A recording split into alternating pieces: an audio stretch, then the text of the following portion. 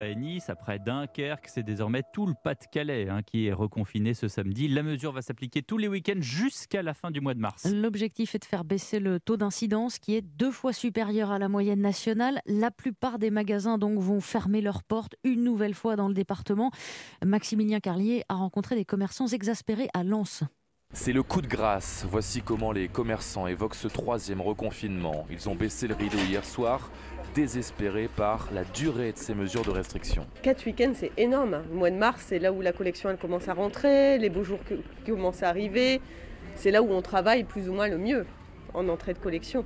Là, bah, disons que ça nous freine. Alors il va falloir s'adapter encore, ouvrir plus tôt, les lundis, pendant la pause déjeuner, mais à quoi bon Ça ne fera que limiter la casse. Ça veut dire que le chiffre d'affaires va encore baisser, c'est dur pour nous de payer les fournisseurs, les salariés, ainsi de suite, les loyers. On fait avec, c'est tout, on n'a pas le choix. Et certains patrons, certains gérants se sentent clairement abandonnés. On ne peut pas nous laisser tomber comme ça.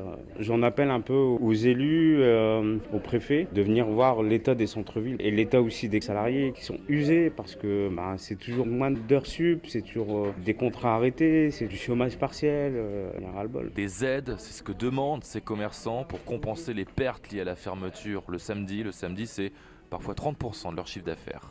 Lance Maximilien Carlier, Europe 1.